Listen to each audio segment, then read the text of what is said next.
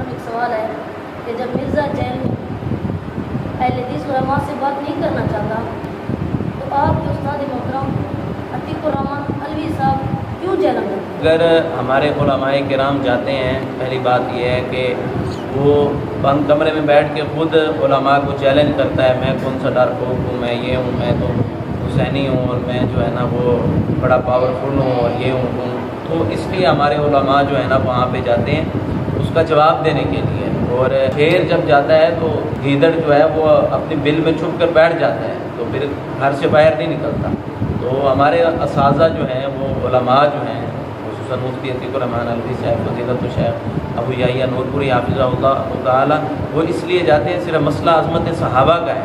अगर सहाबा के ख़िलाफ़ जो है ना, ये बंदा बकवास करना बंद कर दे तो हम इसके पास, हमने क्या जाके करना है? और ये ऐसा गुस्साख है, हम तो इसको देखना गवारा नहीं करते तो हम इससे बात कैसे करेंगे? हमारा दिल इसको देखने को नहीं करता।